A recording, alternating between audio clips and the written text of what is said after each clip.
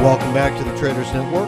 I'm Michael Yorba, your host, broadcasting to you live from the Dallas KFXR 1190 AM iHeartMedia studios and worldwide through yorbamedia.com. All right, I'm joined on the show with Leen Kawas, PhD, CEO, and President, M3 Biotechnology. This this woman has making made some major breakthroughs in neurogen excuse me, I can't even pronounce it neurodegenerative uh, diseases like Parkinson's and Alzheimer's. And I, I really can't wait to get into it. She's she's got a history, uh, just a huge history in this industry sector of making breakthroughs. Leen, welcome to the show. Thank you, Michael, for having me today. All right, my pleasure. Give us a little a, a little ba- more background on you, what you're doing, because you're steering this this ship that, that's curing huma- humanity some of its biggest problems. Uh, yes, I would love to do that. So um, at M3 Biotechnology, uh, we are an emerging company, um, uh, a therapeutics company that is focused on a novel platforms of pharmaceutics. Um, I have a background in pharmacy, worked both on uh, clinical uh, pharmaceutical setup um, and worked with patients who had MS and neurodegeneration. Alzheimer's, Parkinson's, and continued in retail pharmacy. So I also understand all the processes, the, the reimbursement issues, uh, moved. And I guess after that, I wanted to do more. I uh, got a PhD in molecular cancer pharmacology and training in neuroscience. Um, which resulted in the technology that we're working on uh, in M3 biotechnology. Uh, the technology is focused on small molecule drugs uh, that modifies growth factors. Okay. Uh, basically, um, these growth factors are important in protection, uh, regenerating, uh, maintenance, and most important, importantly, restore the lost function. Um, in the case for Parkinson's and, and most importantly, I would say Alzheimer's, uh, huge unmet medical needs, brain cells are, are dying and, and um, we are losing connections. Um, and these connections are important for normal uh, brain functions. Uh, we have identified a lead compound that we're trying to get into the clinic um, in 2016 uh, that has um, in, in our animal models, we were able to restore the lost connections in, in these uh, brain uh, cells. Um, and this is really important for Parkinson's and, and Alzheimer's because we know that uh, in the marketplace, there's um, all the drugs out there are only symptomatic relief. They don't actually restore any function. Um, so it's it's slow the progression, but it doesn't solve uh, the problem. So through the recreation of, of these connections, we potentially could modify the outcome and, and help uh, patients with Parkinson's and, and, Alzheimer's. Now you've you've developed uh, some really strong people backing you right now. I think you just recently uh, um, raised some money from Michael J. Fox Foundation. Uh, the National Institute of Health uh, is is uh, um, tip their hat to you. You've got some, you know, some pretty good accolades of some people backing you up on these discoveries. We are actually. Uh, um, that will also, I will explain also the lean R&D model that we have. We have coast-to-coast collaboration that's mm. supporting uh, M3 uh, biotechnology. Uh, Michael J. Fox Foundation and the Alzheimer's Drug Discovery Foundation are uh, very crucial in coming at an early stage. Biotech is is a very tough industry, especially at early stage. So they, they did support the uh, um, company or the technology at earlier stages, uh, but M3 just closed uh, around that. Also, we got some support from Life Science Discovery Fund. It's a Washington state uh, fund that um, basically looks at the science, the business, uh, the potential for commercialization, and, and returns uh, for the investment opportunities. And, and, and, this is we we're actually one of the few groups that were able to tap on this fund three times and, and being vetted on all aspects of, of the business and the science moving forward. And not not only that, just handling working on your own business, but you're also you know a featured role model for other women who are trying to break through the gra- glass ceiling. You, you know, you, you speak at uh, different organizations, and you also help help women in the industry to further themselves too. If I got that right. I, I'm, I'm dedicated to, I would say, people, men and women who uh, like science and have the entrepreneurship spirit and want to lead companies and address unmet medical needs. The numbers are imbalanced for men and women, but I think uh, I yes I I think we need to be more aggressive as women to uh, get uh, the uh, top uh, positions in, in companies, science, engineering, um, because I don't think it's it's it's We have great leaders uh, as women and men. We have great people who execute the plan as men and women. But I'm I'm dedicated uh, to support women, especially, but any person who who wants to follow their passion. Well said. Now let, us talk about MM201. Uh, you know how, how, you came up with it, how you deliver the drug, uh, you know, into the patients. Let's let's walk into that and the licensing and, and so on. So the science backing up MM201 is actually over 15 years because drug development process is an extensive, uh, long, needs a lot of people to, to work. Multi, huge talents needs to support a specific pipeline. Um, so MM201 is um, a lead compound that was identified from hundreds of compounds that were screened. Uh, Joe Harding is, is one of, uh, in Washington State University, is, is the main uh, inventor.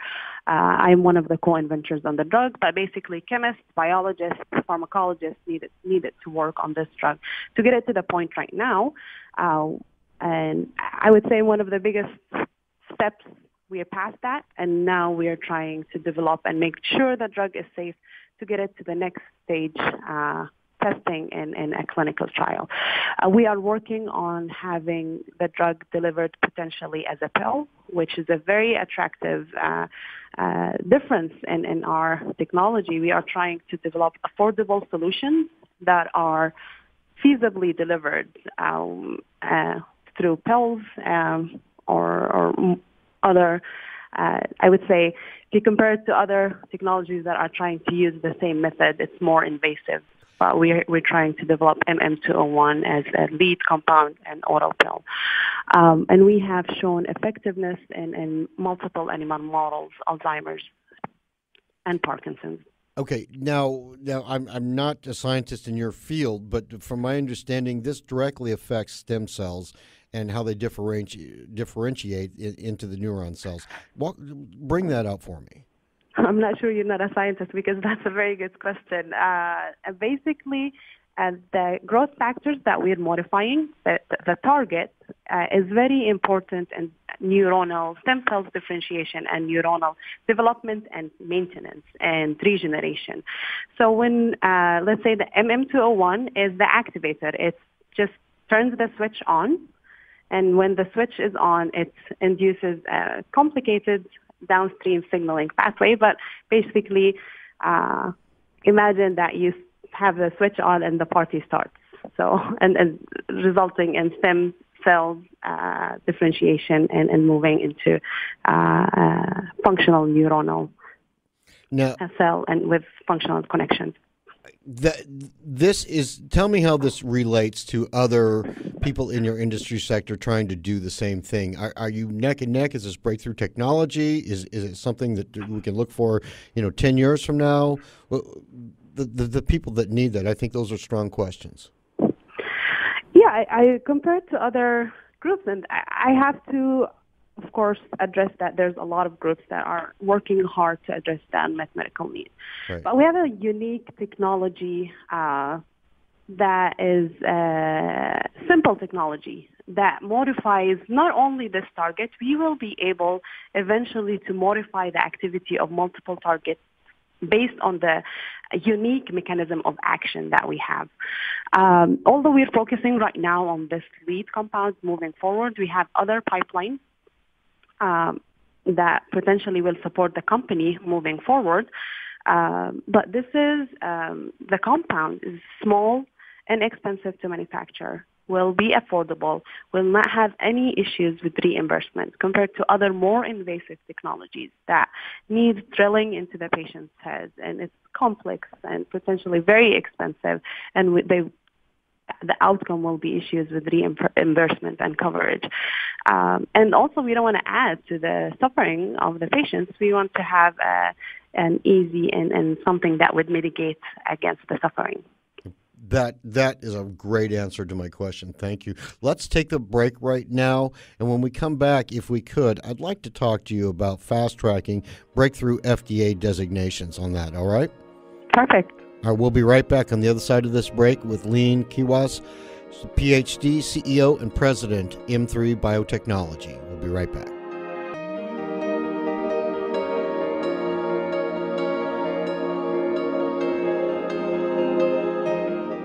BTJ Consulting was founded specifically to consult with accredited investors on how best to manage their oil and gas investments. The emphasis is not only on direct participation in drilling projects, but includes opportunities in the purchasing of oil rigs, service and equipment companies, real estate and or the purchase of royalty interest through lease pooling. This strategy further mitigates risk and spreads their clients' investments over the entire sector whenever possible. For more information, call 469 518 5008 or info at btjconsulting.com. 469 518 5008 or info at btjconsulting.com. That's 469 518 5008 or info at btjconsulting.com. And tell them Yorba sent you. Me? I started smoking when I was 13. I always thought when the time came, I could quit. No problem. Then at 28, I tried to go cold turkey and I found out how hard it really was. I made it all day without a smoke. right until I met up with the guys. But I learned something that night. In fact, every time I tried to quit, there were more than a few, I learned a little more about what worked and what didn't work for me. And when I realized that I wasn't alone, that most people don't quit on their first or second attempt, I knew there was still hope. Today, I'm an ex smoker. My only advice is to never, ever give up trying to quit. If you're trying to quit smoking, the American Lung Association is here to help every step of the way. Visit quitterinU.org for tools, tips, and stories from smokers we've helped to finally quit for good. The American Lung Association. We support the quitter in you at quitterinU.org. It's Thursday night, and you're grabbing drinks with some friends. Started off with a pitcher for the table, which quickly becomes two. There's pool. And there's the photo booth. All right, everybody squeeze in. Say cheese. Followed naturally by an order of wings. And another. Can we get some extra ranch sauce? Then there's the ceremonial nightcap. So, what are we doing this weekend? And lastly, it's back to the car, which, if you're buzzed,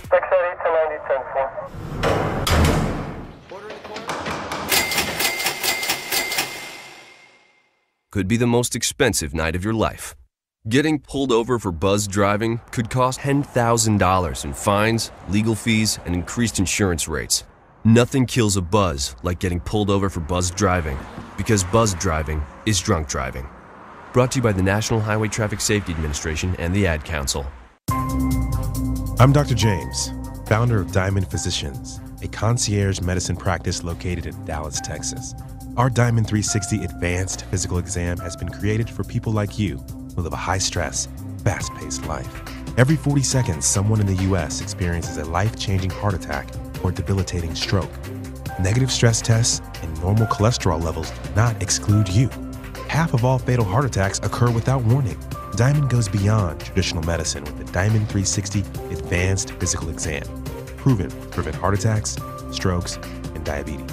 Contact Diamond now at 214 395 3491. That's 214 395 3491. Or visit our website at diamondphysicians.com to take the Diamond Challenge. If your Diamond 360 reveals perfect health, receive a full refund. Your loved ones will thank you. Welcome back to the Traders Network. I'm Michael Yorba, your host, broadcasting to you live from the Dallas KFXR 1190 AM iHeartMedia studios and worldwide through yorbamedia.com. I'm joined on the show with Leen Kawas, PhD, CEO, President, 3M Technology. Uh, web address on this company, m3bio.com, the, the number three. All right, Leen, when we left off, we were talking about the breakthrough that you're making when it comes to this drug. You're, you're making it affordable, making it orally uh, uh, delivered to the patients. And with all, with all of those uh, attributes and accolades to your benefit and, and, and to your to your um, really to, to your credit, I should say, there's always a red tape here with FDA designation. How are you fast tracking this to get that F- FDA designation? So the FDA does have the bad drip of, of being the red tape, but I think there's a genuine uh, effort in fast tracking uh, drugs that are in the pipeline for huge unmet medical needs, especially Alzheimer's. Um, there's real efforts to bring more drugs into the pipeline, clinical pipelines, and into the market. Uh, the FDA did have um, modification on their fast track, adding a breakthrough designation uh, in April 2014. And basically, here they're trying to push groups like us to think outside of the box. And um, in the space of Alzheimer's and Parkinson's, there has been a lot of failures in the last decade or so. So there is definitely a lower energy uh, and there's more support for drugs to go into the pipeline. Basically, what we need to show is that the drug is a feasible uh, uh, delivery or a feasible drug that has the potential to modify the drug in an early stage clinical trial. So all of our efforts right now is creating an endpoint, and uh, we call it the biomarker, and we're trying to individualize the biomarker per patient. Uh, we're looking at brain function, brain functionality that eventually will translate into a positive clinical outcome. Um, the FDA is willing to look at endpoints, early stage clinical uh, uh endpoints that there's a history in translation into a positive clinical outcome. And this is where we're focusing on and trying to uh, get the breakthrough designation. For the data that we have today, M3 uh, would qualify for a fast track because we have a drug with a potential to modify not only symptomatically uh, the course, uh, the diseases that we're addressing, Parkinson's and at, Alzheimer's. At what stage of whether it's Alzheimer's or Parkinson's is is the, the drug effective? Do you need to administer administer this drug at the early stages, or does it work up until a critical breaking point? So that's a good question, and we'll be able to answer it as we move into the clinical testing. Uh, from what we uh, know, um, we think that it will be more uh, effective in early and moderate stage. Uh, potentially has an effect in a later stage of the disease, um, but of course it's going to be uh, harder to get a, a, similar outcome. And this is not only specific to our drug, but um, any therapy out there. As the disease progresses, it's, it's harder to reverse it or, or modify it. But we're, we're hoping, and this is a very good question that we'll answer it in a clinical setup when the the other question that I have on, on this, if if you're able to take uh, MM201 and and I, I, imagine it's reducing the the onset of Parkinson's and Alzheimer's. It's not completely curing it, right? You're right. It's a, it's, so there's a difference between cure. Cure is a very strong uh, right. word. Um, we are modifying. So we there's um, lost connections that are uh, induced by the disease, mm-hmm. and we're recreating uh, the connection. So it's fighting uh, the disease. Basically, for Alzheimer's and Parkinson's, it's uh, there's uh, most of the patients we don't know what induced the disease, so we can't really address uh, the cause of the disease, but we can definitely address the end point of the disease, which is the lost connections between brain cells. Well, here, here's the other part of the question. So let's say that you've got people who are being affected by these diseases. What about healthy people taking this drug? Would it actually increase their cognitive powers? So that's also a very good question. Uh, potentially, yes. Um, but this is not something that we are pursuing or looking for. We are more interested in addressing the unmet medical need. Right, right. I understand. I just was, you know, thinking out of the box. I mean, you can. No, that's a that's a good question, and uh, and it's uh, uh, it, it is it's a long term. It's a vision uh, question that we'll address as we move forward into the clinic and market space. But uh, I, the answer pharmacologically and scientifically, it should have some effect. But to also addressing this question, mm-hmm. um, potentially uh, this drug will be more specific to neurons that are losing the connection. Okay. Uh, they will be more responsive. So we, we don't expect to see the same level of response.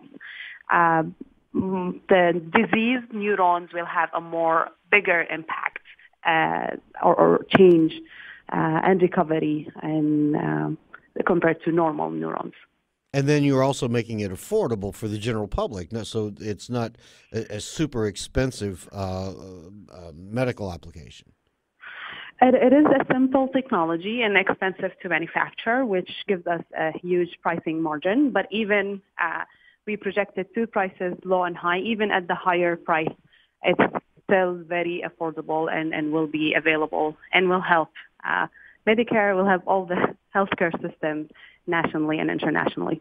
Okay, let's. We're nearing the end of the second segment, but I wanted to leave enough time to give you some elbow room. Give us a recap, if you can, of the 2014 or so uh, uh, milestones that you you have achieved with your company with M3, and and the the uh, um, thresholds, the goals that you have uh, as you go forward. So basically, 2014 was a great year uh, for M3. We started the development process, trying to move the drug into the clinic. We closed a round that uh, was supported also by uh, groups like the Life Science Discovery Fund, um, and uh, we've early in the year uh, we've been featured at the Michael J. Fox Foundation as one of the partnering groups, um, and uh, this um, and currently we're looking at the second round uh, of raise, but we are we're moving forward. We are using a lean R&D model, mitigating against the risk of uh, the high cost that is associated with biotech mm-hmm. company. Our investors are happy with our progress in achieving the milestones. Next step uh, will be getting into the clinic. Uh, we're looking at um, 2016 to to be in the clinic and first in men uh, testing.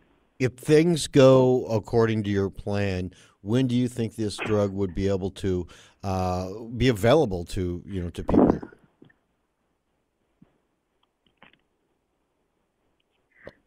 Hello. Are can you hear me? Yes, I can hear you right now. Good, Leen. If, if things go according to your plan, when do you think we'll be able to see this drug out on the market? So basically, from our projections, that that's somewhat conservative, uh, and if we uh, achieve the fast track um, designation, potentially in 2020, 2021, we'll penetrate the market. And what we're looking at is actually um, from companies and, and, technologies that are in the same space is uh, partnering agreements when we go into the clinic uh, with one of the bigger six identified pharmaceutical companies uh, to support the clinical development and accelerate also market penetration. So, are those domestic? You're talking about the one of the six largest pharmaceutical companies have already started to uh, to engage you in conversation about partnering with you. Um, uh, has there been international interest too? National and international, yes. Amazing. So we are that far ahead on this technology, on this conversation that you and I are having. Mm-hmm. That's yes. that's amazing. All right, we're we're out of time on this one, but uh, before we go, Leen, any uh, events that you're going to be at where people can come and talk to you and shake your hand and know more about your business and, uh, and more about um, MM201? Uh, so I'm going to be in Bio in June. Um, and um, that's the closest. And also in Euroventure in April coming up, I will be uh, in NIO, uh, one of their events. Uh, they have uh, I would say small, but one of the biggest uh, neuro uh, focused venture meetings. Great. I want to thank you for your breakthrough in the technology, what you're doing for, for humanity, Lynn. Thank you so much. Yeah, and I want to thank everyone who helped and still helping uh, to move this forward. Well put. All right, Lynn, we'll talk to you soon. Perfect. Thank you. All right, Lynn Kawas, uh, PhD, CEO, President, M3 Biotechnology, web address m3bio.com. We'll be right back on the other side of this break with Per Brogard, CEO, Forest Economics, a man who's bringing new business to Africa and he's financing it. We'll be right back.